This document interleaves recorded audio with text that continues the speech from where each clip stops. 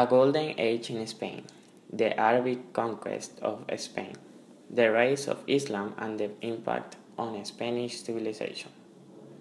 In Spain, Islam flourished and coexisted with the Christian and Jewish communities of the peninsula throughout a century of immigration, conquest, and administration. Beginning in 711, Berber invaders brought Islam to a central position in Spain. Eastern scholars of law and philosophy immigrated to the flourishing court. Poets developed new styles based in Arabic but also influenced by local Spanish and Latin forms. Muslims built monumental structures to show their dominance. One of the monuments that still remain is the Court of Lions in the Alhambra Palace, built in the 14th century.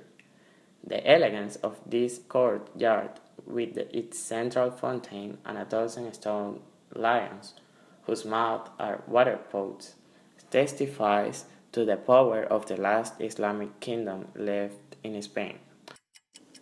During the Islamic administration, Christians and Jews were allowed to retain their religion by paying a tax. By the 14th century, Christianity had become triumphal and intolerant.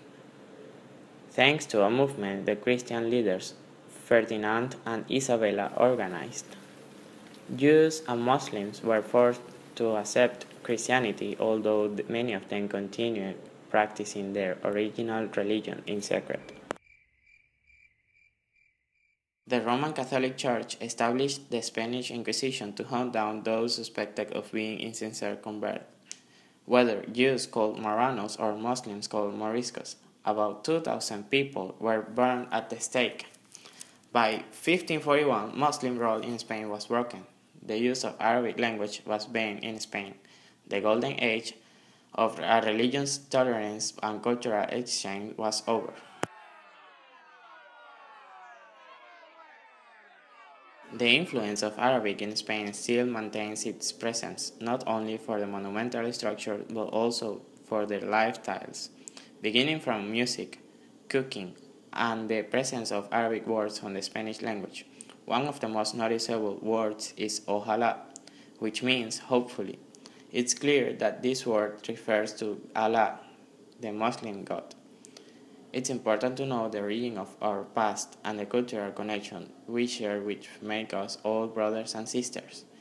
Even though we come from different parts of the world, we are connected.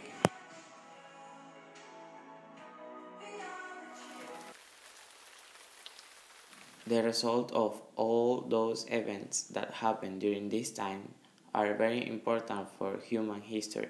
My name is Luis. Thanks for listening. I hope you enjoyed this topic.